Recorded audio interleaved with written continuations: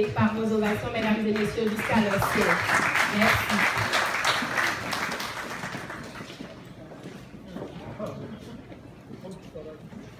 Mesdames et messieurs, honorables invités, place maintenant à la présentation de la compétition organisée par le Bureau de la Banque mondiale Abidjan en partenariat avec les lycées et collèges d'Abidjan.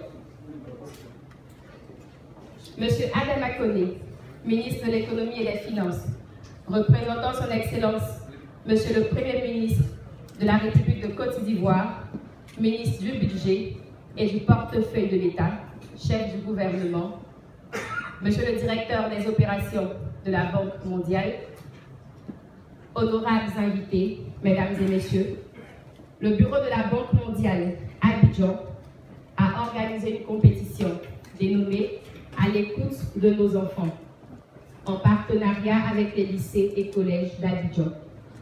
Il s'agit du lycée Deji Amondi Pierre des 220 logements à Djamé, le lycée moderne de Koumassi, le lycée municipal de Port-Boué, le lycée moderne de Trècheville et le lycée moderne de Yopougon en deux points. Bien entendu, la cible reste les élèves de ces lycées et collèges. Cette activité avait pour objectif de susciter chez les élèves des réflexions sur le développement économique et social en vue de les responsabiliser sur les questions d'actualité. Comme résultat,